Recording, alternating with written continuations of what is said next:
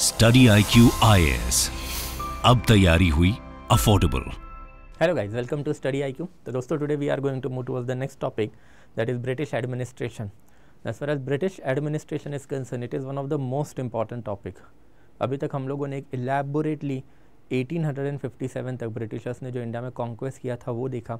उसके पहले भी हम लोगों ने डिक्लाइन ऑफ़ मुगल्स एंड उसके पहले arrival of the foreigners in our country यानी टॉपिक इलेबोरेटली कवर अप करके रखे we had seen the nitty gritties of those topics as well as analytical aspect of that topic but ultimately Britishers who conquered our entire country उनका ultimate purpose क्या था? What was the ultimate purpose of the conquering India इसके पीछे भी मैंने आपको एक और रीज़न बताया था कि समवेयर अराउंड 1782 84 के around when United States of America was lost by the Britishers तो ब्रिटिशर्स ने इंडिया के ऊपर फोकस करना चालू किया।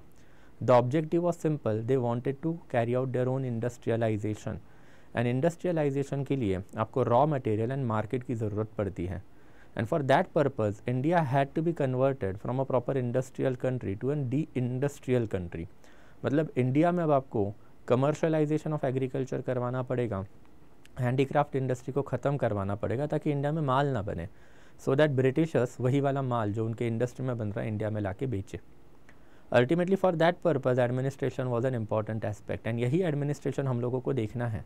We are going to see पहले कि 1782 84 के पहले वाला एडमिनिस्ट्रेशन मतलब and large Robert Clive and thereafter Warren Hasting इनके अंडर का एडमिनिस्ट्रेशन कैसे चल रहा था, उसमें रॉबर्ट क्लाइव के अंडर का administration is just dual government जो आज हम बात करेंगे।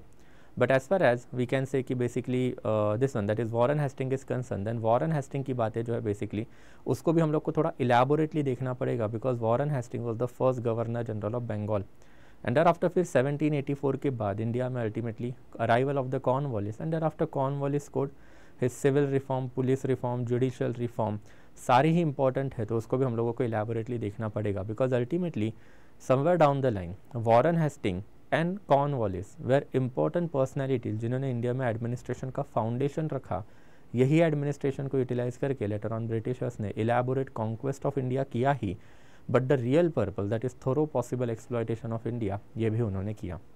Let's move on to this topic now कि हम लोगों को एक एक करके अब इनके एडमिनिस्ट्रेटर देखने हैं। But again before moving forward okay you will get access to this particular ppt on the telegram channel and instagram channel के ऊपर obviously you can ask me your doubt if you are having any so let's move forward to this particular topic guys कि अब एक एक करके देखेंगे कि British administration India में अब इवॉल्व कैसे हुआ सबसे पहले 1772 was a very landmark year 1772 was a landmark year because there was a recall of Robert Clive from our country once and finally ये क्यों किया गया? अब उसके बैकग्राउंड के ऊपर हम लोगों को थोड़ा बहुत देखना पड़ेगा। कि इट ऑल स्टार्टेड इन 1765 अगर आपको याद है, हम लोगों ने देखा था 1765 में there was battle of Buxar and battle of Buxar जैसे ही ख़त्म हो गया देन ऑब्वियसली रॉबर्ट लाई ने ट्रीटी ऑफ़ अलाहाबाद साइन करके रखी थी। एक treaty of Allahabad obviously Mughal emperor Shah Alam और एक treaty of Allahabad Nawab of Awadh that is Shujauddaula उनके साथ साइन हुई थी।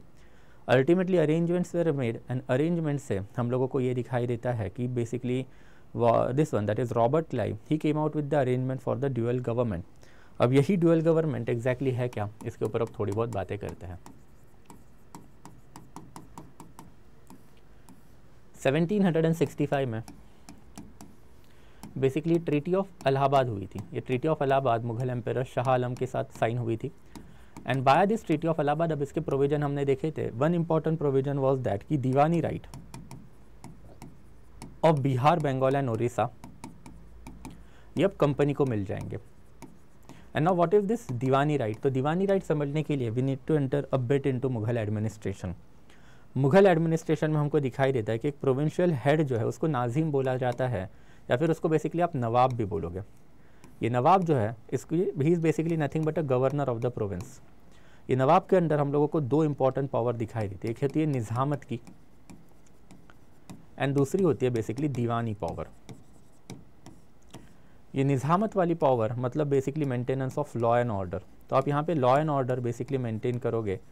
फॉर दैट पर्पज़ जो भी पुलिस डिपार्टमेंट एंड पुलिस के साथ साथ जो आर्म फोर्सेस रहते हैं मुगलों के, वो आपके अंडर आ जाएँगे। That will become subservient to you and after under diwani you have right to levy and collect taxes तो मतलब basically he is a kind of the civilian head of the entire administration British East India Company was aware of this particular administrative pattern and that's why British East India Company ने via this treaty of Allahabad ultimately diwani right जो है अपने पास ले लिए। मतलब अब नवाब जो है उसके अंडर के जो दीवानी राइट रहेंगे वो किसके रहेंगे? ब्रिटिश ईस्ट इंडिया कंपनी के। देर आफ्टर हम लोगों को ये दिखाई देता है कि 1765 में ही एक और मेजर इवेंट इंडिया में हुआ। That is Mir Jafar died अगर मीर जाफ़र के ऊपर अगर आपको याद रहेगा वी हैड ऑलरेडी सीन कि he was a treacherous personality in 1757 battle of Plassey but ultimately replace in 1760 by Mir Kasim but Mir Kasim ने जैसे ही बगावत कर दी 1762 ऑनवर्ड तो 1762 से लेके 1765 में Mir Jafar was again made nawab of Bengal but ultimately Mir Jafar died in 1765 and after Mir Jafar के मरने के बाद अल्टीमेटली हम लोग को दिखाई देता है कि the British government transferred power to his son इसका एक और बेटा था माइनर बच्चा था, उसका नाम था basically Nizamuddaula.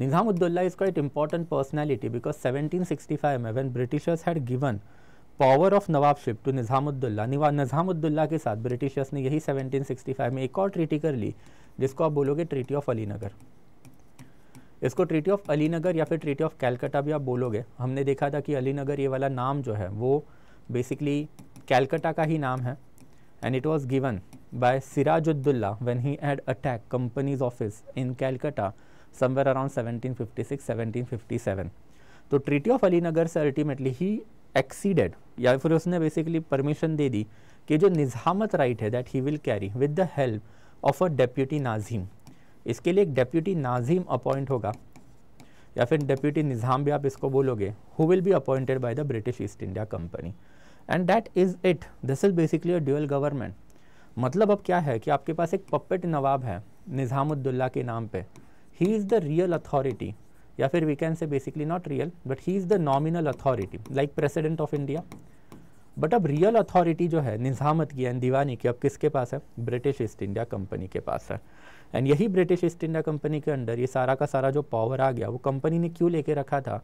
Because of the thorough possible exploitation ultimately company was interested in treasury आपकी ट्रेजरी किसके अंडर रहती है? दीवान के अंडर रहती है। एंड ट्रेजरी में ही सारा का सारा रेवेन्यू जो है, आपके एरिया का आता है। तो कंपनी हैड थॉट कि अभी हम लोग क्या रखेंगे? बहुत ज़्यादा हाईएस्ट पॉसिबल रेवेन्यू डिमांड करेंगे, वो रेवेन्यू जो अल्टीमेटली ट्रेजरी में आएगा। अल्टीमेटली अगर वो ट्रेजरी में नहीं आ रहा है तो लोकल लेवल पर हम लोग एक्सप्लॉयटेशन कैरी आउट करेंगे। एक्सप्लॉयटेड बंदा जाएगा कहाँ पे? पुलिस के पास जाएगा आर्म फोर्सेस के पास जाएगा बट अब वो भी अल्टीमेटली कंपनी के अंडर है। बिकॉज़ निज़ामुद्दुल्ला हैड एग्रीड कि कंपनी के हेल्प के साथ वो सारी चीज़ें अब मैनेज करेगा।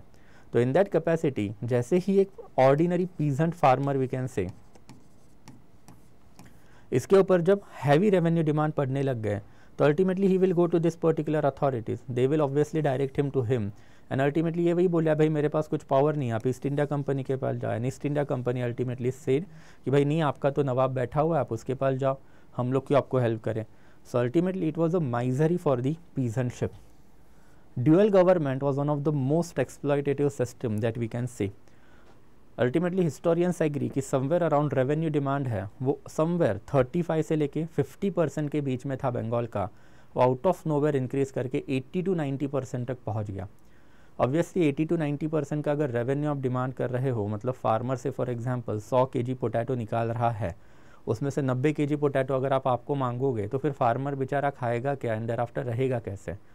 इसके बहुत बुरे इम्पैक्ट जो है अल्टीमेटली बंगाल के ऊपर पड़ने चालू हो गए। एंड ये बहुत बुरे इम्पैक्ट बंगाल के ऊपर कैसे पड़ गए? तो सबसे पहले एंड सबसे फॉरमोस्ट इम्पैक्ट जो है, कि बंगाल की जो ट्रेजरी है, अब वो थोरोली एम होनी चालू हो गई। अगर बंगाल की ट्रेजरी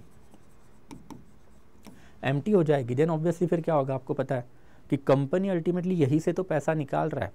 बंगाल की ट्रेजरी से पैसा निकालेंगे इंडिया में माल खरीदेंगे एंड यूरोप में जाके उसको बेचेंगे। That was the initial possible exploitation that company had carried out but उसके लिए बंगाल के ट्रेजरी में पैसा आना ज़रूरी है। अब बंगाल के ट्रेजरी में अगर पैसा ही नहीं आ रहा है how are you going to buy products in India and go and sell it to the European countries वो तो हो ही नहीं सकता। And in that capacity company की बैलेंस शीट जो है वो ख़राब होनी चालू हो गई। दूसरा इंपॉर्टेंट एस्पेक्ट जो है बंगाल में सीवियर अग्रेरियन क्राइसिस जो है वो डेवलप्ड होना चालू हो गया। एंड अग्रेरियन क्राइसिस के साथ हमको धीरे धीरे दिखाई देता है। बंगाल में फेमाइन लाइक कंडीशन आ गई। जिसको ग्रेट बंगाल फेमाइन भी बोला जाता है 1770 का। ग्रेट बंगाल फेमाइन में ultimately millions of people died and obviously British East India company के officials during this particular period of time वो शांत तो नहीं बैठेंगे। उसमें से कुछ अच्छे वाले लोग भी थे who had sympathise with Indians इन्होंने वो वाले रिपोर्ट अल्टीमेटली लंदन में भेजने चालू कर दिए। एंड इसका काउंटर इफ़ेक्ट अब आपको लंदन में दिखाई देगा कि समवेयर अराउंड 1769 के around first time London media ने बेसिकली लंडन गैजेटी नाम का पेपर था प्रिसाइजली उन्होंने अपने फ्रंट पेज के ऊपर कंपनी का एडमिनिस्ट्रेशन एंड बंगाल की misery because of the company's administration इसके ऊपर रिपोर्ट छापने चालू कर दिए. एंड जैसे ही आप रिपोर्ट छापोगे तो होगा क्या? जैसे फॉर एग्जांपल इंडिया में हिंडनबर्ग रिपोर्ट आता है, जो अडानी के खिलाफ था फॉर एग्जांपल अडानी के शेयर प्राइजेस ऑटोमेटिकली प्लमेट होने चालू हो गए. बराबर? ऑलमोस्ट 70 टू 80 परसेंट से शेयर प्राइजेस गिर गए. कंपनी भी तो प्राइवेट कंपनी है. तो कंपनी के शेयर प्राइजेस जो है ऑटोमेटिकली बेसिकली डाउन होने चालू हो गए, जिसकी वजह से कंपनी में फाइनेंशियल क्राइसिस चालू हो गया। एंड जैसे ही कंपनी में फाइनेंशियल क्राइसिस चालू हो गया शेयर प्राइजेस कंपनी के लो होने चालू हो गए, company had no other option but to take loans अब आपको ह्यूज अमाउंट ऑफ़ लोन्स चाहिए। जैसे अडानी को लोन कहाँ से जाता है? आपने देखा होगा LIC से जा रहा है SBI से जा रहा है एक्सेट्रा एक्सेट्रा कॉन्ट्रोवर्शियल टॉपिक है, वैसे ही कॉन्ट्रोवर्शियल टॉपिक ब्रिटेन में भी हुआ। सबसे पहले around seventeen hundred and seventy जो है बेसिकली हम लोगों को दिखाई देता है कि बेसिकली सबसे पहले बैंक ऑफ़ लंडन कंपनी इनके पास गई एंड रफली इनके पास से बेसिकली वन मिलियन पाउंड का लोन जो है बेसिकली मांगा। बैंक ऑफ़ लंडन इनको इतना ज़्यादा कोई फ़र्क नहीं पड़ता था उस ज़माने में, उन्होंने एक मिलियन पाउंड का लोन दे दिया but obviously it's a very huge amount of money are talking ये एक मिलियन पाउंड आज भी बहुत ज़्यादा होते हैं, उस ज़माने के तो you can clearly imagine finally फिर 1771 में कंपनी का बैलेंस शीट्स नहीं सुधरा तो अल्टीमेटली कंपनी वापस से बैंक बैंक ऑफ़ लंदन के पास गई, भाई, हम लोगों को लोन दो। अब बैंक ऑफ़ लंदन ने लोन देने से मना कर दिया, भाई, आप पहले से ही एक डूबती हुई कंपनी हो, आपने एक मिलियन पाउंड का लोन पहले ही लिया है which was quite difficult to raise पर फिर भी हमने रेज करके आपको दे दिया। ना we don't have money to give you further one million का लोन तो आप हमारे पास मत आना। Ultimately company had no other option कि आपकी कंपनी जब फेल हो रही है तो कंपनी जाएगी किसके पास से? गवर्नमेंट के पास जाएगी। East India company went to British government and British government ultimately decided to give the loan in 1772 on the condition कि आपको बेसिकली हम लोग 1.5 मिलियन पाउंड का लोन दे देंगे। बट ये वाला जो लोन है हम आपको तभी देंगे when you submit yourself to the direction of the British we can say government and company को वो एग्री करना पड़ा because option were quite simple कि ये डेढ़ मिलियन पाउंड का लोन नहीं आता है तो कंपनी को ताला लगाना पड़ेगा बिकॉज़ रॉबर्ट लाइक का dual government had failed miserably अपने हैवी टैक्सेशन से बंगाल का एग्रीकल्चर रून कर दिया. Nobody want to perform agriculture in Bengal जिससे अल्टीमेटली ट्रेजरी एमटी हुई बिकॉज़ ऑफ़ रेवेन्यू आ ही नहीं रहा है. एंड वन वर्स कि अल्टीमेटली आपके अंडर जो millions of people who are now dying in Bengal because of the great Bengal famine उसके रिपोर्ट की वजह से कंपनी के शेयर प्राइजेस भी खत्म होने चालू हो गए। बिकॉज़ कंपनी का रीजन डी ट्रिप या फिर कंपनी के शेयर प्राइजेस इतने हाई क्यों थे? बिकॉज़ उनके अंडर इंडिया था। अब वो इंडिया ही उनके हाथों से जाते हुए दिख रहा है लंदन वालों को तो लंदन वालों ने अपना पैसा खींचना चालू कर दिया। And that's a company had only one option, to give, take that particular loan and submit itself to the regulation of the government. And government regulation के वजह से अल्टीमेटली गवर्नमेंट ने ही रेगुलेट करके रखा था कि भाई आप पहले तो क्लाइव को वापस बुलाओ एडमिनिस्ट्रेटर चेंज करो इन 1772 एंड फाइनली फिर 1773 में आपको दिखाई देगा कि रेगुलेटिंग एक्ट जो है कंपनी के ऊपर ब्रिटिश गवर्नमेंट ने लगा दिया। 1773 का regulating act is something that we will study later on but I hope it is quite clear कि chain of event which ultimately befalled upon we can say British East India company because of the misadventure of the Robert Clive ये सारी system जो Robert Clive की है, इसको dual government इसीलिए बोला जाता है बिकॉज़ आपके पास एक नॉमिनल हेड है एंडर आफ्टर आपके पास एक रियल हेड है। दीवानी पावर एंडर आफ्टर निज़ामत पावर दोनों ब्रिटिश ईस्ट इंडिया कंपनी के अंडर है। जबकि एक्चुअल में नॉमिनल पावर किसके अंडर है? नवाब के अंडर है। तो हो गया ना आपके ड्यूअल गवर्नमेंट दो गवर्नमेंट एक बेसिकली कंपनी का government British East India company का, और एक बेसिकली हो गया आपका नवाब का दैट इज़ नॉमिनल गवर्नमेंट तो I hope it is quite clear कि ड्यूअल गवर्नमेंट जो है एक्जैक्टली ग्राउंड लेवल पे फ़ंक्शन कैसे कर रहा था and how it ultimately brought upon misery upon the entire Bengal it is in this background precisely Robert Clive को recall किया गया। एंड रॉबर्ट लाई को रिकॉल करके अल्टीमेटली कंपनी ने अपने ही एक official that is Warren Hastings को प्रमोशन दे दिया। Warren Hastings became the new governor of the Fort William in 1772 and 1773 में इनका प्रमोशन हुआ गवर्नर जनरल ऑफ़ बंगाल के पोजीशन पे। Because it is a regulating act 1773 this particular personality ultimately got elevated to that position obviously अब इनके सामने के task काफ़ी बड़े टास्क थे कि पहले तो हम लोगों को रेवेन्यू रिवाइव करना है ट्रेजरी में रेवेन्यू लाना है। ट्रेजरी में अगर रेवेन्यू आता है तो वो balance sheet we can publish in London and London में जो कंपनी के स्टॉक प्राइजेस गिर रहे हैं, उसको हम लोग उठा पाएँगे। तो it was a very difficult task to revive Indian revenue system now because लोग एग्रीकल्चर छोड़ के भाग गए हैं। एंड लोगों को ये पता चला है कि ब्रिटिश ईस्ट इंडिया कंपनी के अंडर एग्रीकल्चर करना is next to impossible too much of revenue demand is there and revenue वसूल करने की जो इनकी मशीनरी है वो भी काफ़ी डेंजरस है। बिकॉज़ यहाँ पे सिर्फ़ सिविलियन ऑफिसर नहीं आ रहे आपके दरवाजे पे रेवेन्यू कलेक्ट करने के लिए। अब उनके साथ पुलिस एंड आर्मी ऑफिसर भी आ रहे हैं। Because even police and army officers are now working for British East India company deputy Nazim is there, and in in that capacity, nobody was ready to perform agriculture at a ground level. अब किसी ने agriculture ही perform नहीं किया तो revenue आएगा कहाँ से? और आपकी ट्रेजरी आप रिवाइव कहाँ से करोगे राइट तो that was the problem that was in front of him and इनका यही सबसे अर्लीस्ट टास्क था कि रेवेन्यू एंड फाइनेंशियल जो है बेसिकली हम लोगों को क्या करना है? ऑब्वियसली रिवाइव करना है। ऊपर से ये वो वाला टाइम पीरियड है seventeen hundred and seventy two if you remember हमने ये भी देख के रखा हुआ था कि Marathas were on the ascendancy under Madhavrao Peshwa 1761 में बैटल ऑफ़ पानीपत तो हार गया था मराठास। बट 1761 से 1772 1773 तक Madhavrao Peshwe was there and Madhavrao Peshwas के under Marathas had regain their lost prestige हमने ये भी देख के रखा हुआ था। It was only after the death of Madhavrao Peshwa in 1772 onward problem started in Maratha empire but वो इंटरनल प्रॉब्लम थे, अभी तक इतने ज़्यादा बाहर नहीं आए थे। तो Marathas were on the ascendancy ये वही वाला टाइम पीरियड है जब first as well as second Anglo Mysore war जो है उसके बीच वाला time period first Anglo Mysore warfare में Britishers had to sign humiliating treaty of Madras which was a defensive treaty तो even Mysore was on an ascendancy and ये वही वाला टाइम पीरियड है जब बेसिकली इंडिया पे रिपीटेड इनकर्जन जो है बेसिकली अब अफगानियों के वापस से चालू हो गए थे under son and successor of basically we can say uh, this one that is Durrani ruler Ahmad तो हर जगह से वी कैन सी इनके लिए काफ़ी डिफ़िकल्ट पोजीशन रही है in order to hold on to the position of the Bengal but फिर भी अब एक एक करके देखेंगे कि how he handle this particular position कि इन्होंने धीरे धीरे करके पोजीशन जो कैसे संभाली। सबसे पहले तो एडमिनिस्ट्रेटिव रिफॉर्म की अगर बात करेंगे देन ऑब्वियसली इन्होंने डुअल सिस्टम जो उसको बंद कर दिया। जो डेप्यूटी नाजीम डिप्यूटी दीवान इन्होंने अपॉइंट करके रखे हुए थे in order to handle all the aspect जैसे डिप्यूटी नाजीम अपॉइंट करके रखा था in order to handle basically निज़ामत वैसे इन्होंने डेप्यूटी दीवान भी अपॉइंट करके रखे थे who will act as a agent between administration and company तो ब्रिटिश ईस्ट इंडिया कंपनी ने यहाँ पे डेप्यूटी दीवान अपॉइंट कर दिया और डेप्यूटी दीवान के अंडर जो है सारा कारोबार ये लोग चला रहे थे। तो डेप्यूटी दीवान को निकाल दिया एंड रेवेन्यू मैटर जो है इन्होंने डायरेक्टली अपने अंडर ले लिया। उसके लिए एक बोर्ड ऑफ़ रेवेन्यू बनाया इन्होंने कंपनी के under and now board of revenue will handle the revenue related matter it was basically Warren Hasting जो basically was responsible for the creation of the post of collector यही position के लिए तो आज आप बेसिकली फाइट भी कर रहे हो। बट कलेक्टर करेगा क्या? कलेक्शन ऑफ़ द रेवेन्यू तो कलेक्टर ये वाली पोजिशन भी काफ़ी सिग्निफिकेंट पोजिशन है विच was created by them there after company as a sole authority obviously now there was no more nawabship and that's why फिर company जो है it will be a sole authority of Bengal and later on even British government ने ये position को secure किया था। कि now company will undertake administration of Bengal directly and for that purpose governor of Fort William who is Warren Hasting he will be elevated to the position of the governor general of Bengal there by Warren Hasting becoming the first governor general of Bengal and जो basically company ने मीर जाफ़र की family उनको pension of कर दिया।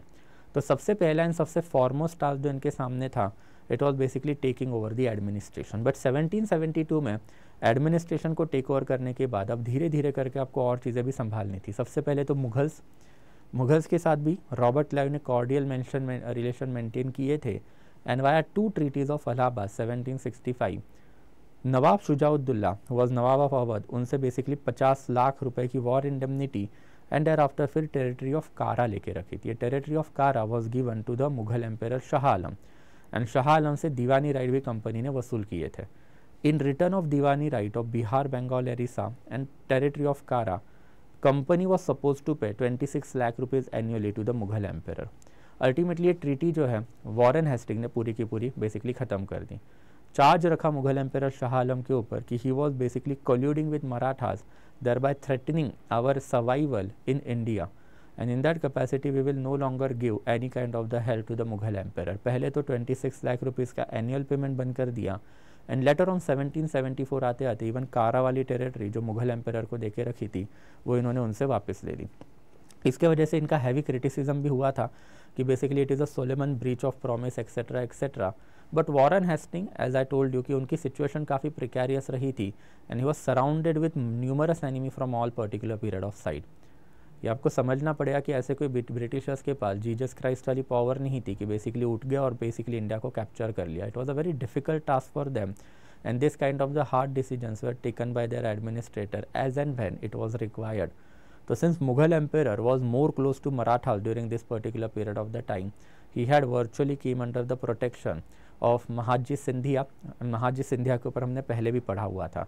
And Mahadji Scindia was a really big threat to the British government ultimately Mahadji Scindia को ही हराने के लिए इफ़ यू रिमेंबर हमको, हमने देखा था कि 1781-82 के अराउंड वॉरन हेस्टिंग ने फोर्सेज ही भेज दी, जिसमें बैटल ऑफ़ सुप्रीम में महाजी सिंधिया को लेटर ऑन हराया भी गया था।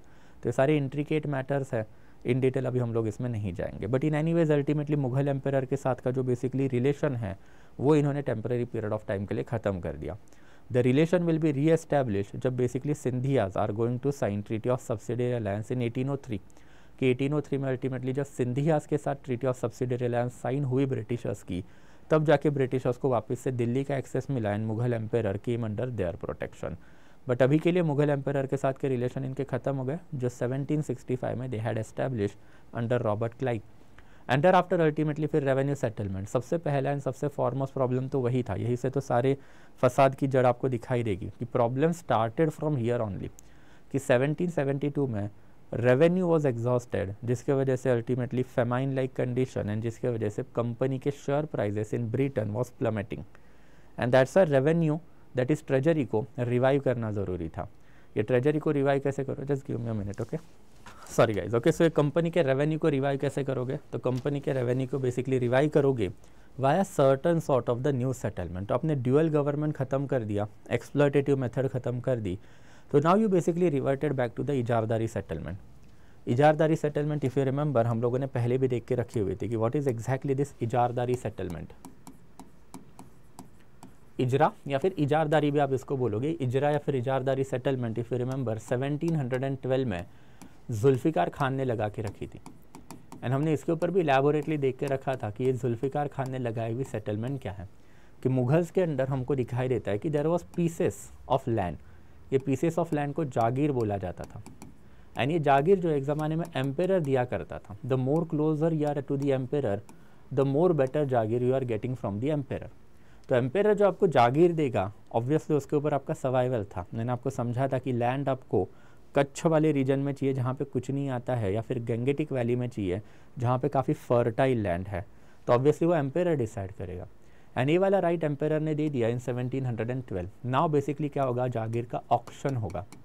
एंड जो हाईएस्ट बोली लगाएगा या फिर हाईएस्ट बिड लगाएगा, उसको लैंड दे दिया जाएगा। तो ये जो इजारदारी सेटलमेंट जो हमने पहले भी देखी थी 1712 में, ये पर्टिकुलर सेटलमेंट जो है, इसके ऊपर अब बेसिकली वॉरन हेस्टिंग ने वापस से काम करना चालू कर दिया। एंड वॉरन हेस्टिंग ने ये जो ओल्ड सिस्टम है, उसको रिवाइव करके इसको पाँच साल के लिए बना दिया। मतलब एक बार अगर वॉरन हेस्टिंग ने सेड इन 1772 कि हम लोग बेसिकली पीसेस ऑफ़ लैंड का ऑक्शन करेंगे एंड ऑक्शन करने के बाद से फॉर एग्जांपल साइनिल नाम का एक बिडर है। तो I am bidding I am bidding what then obviously मैं जो है बेसिकली हज़ार रुपये यहाँ से आपको रेवेन्यू ला के दे सकता हूँ।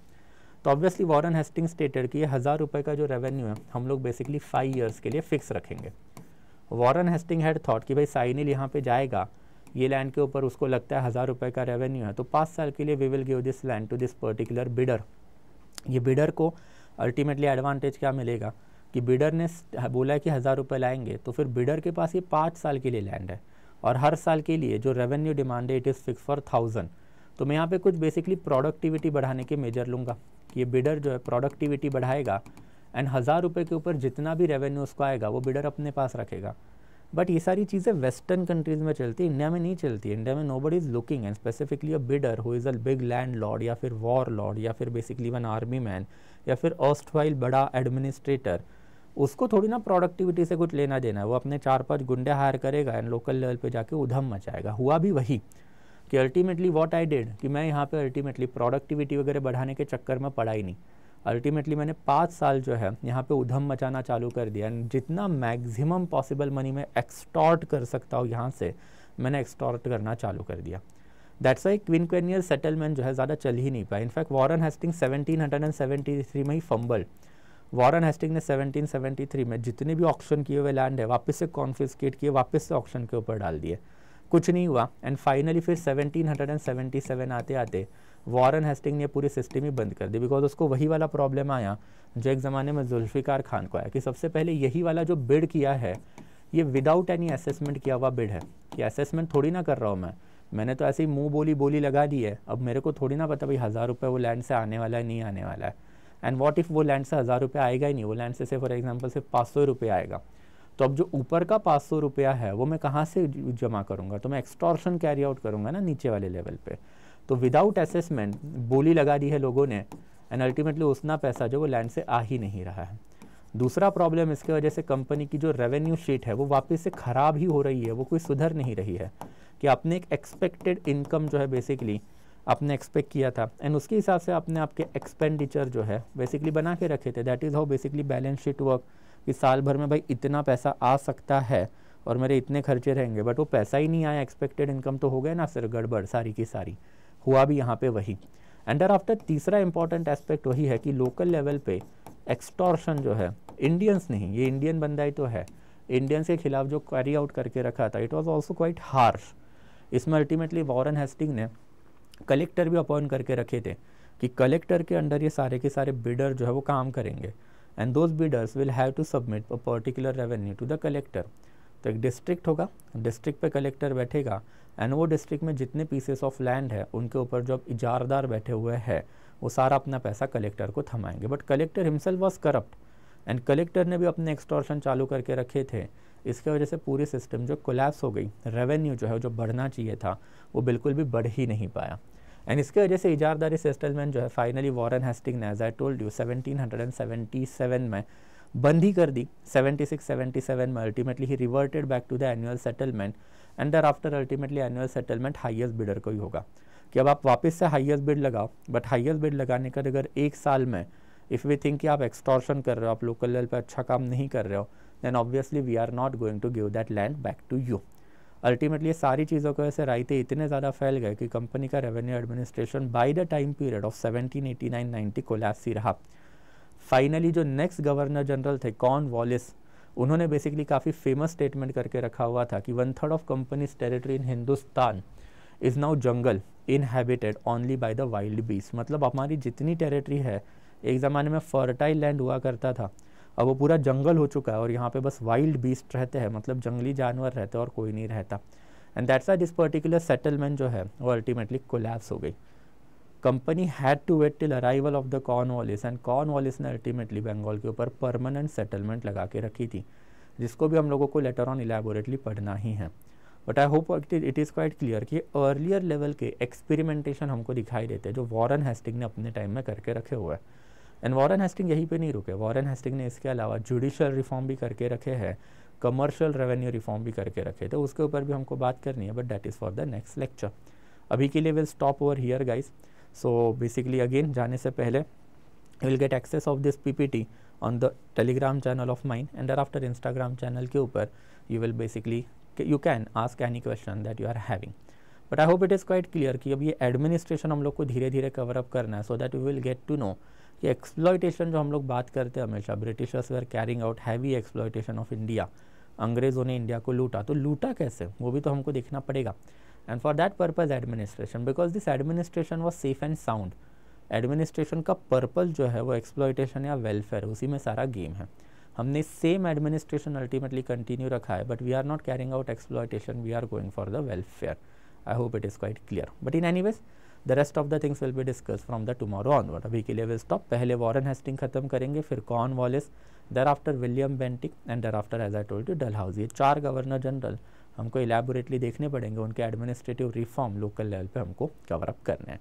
So thank you so much guys I will be stopping the session ना will meet again then tomorrow thank you so much guys thank you Study I Q आई अब तैयारी हुई अफोर्डेबल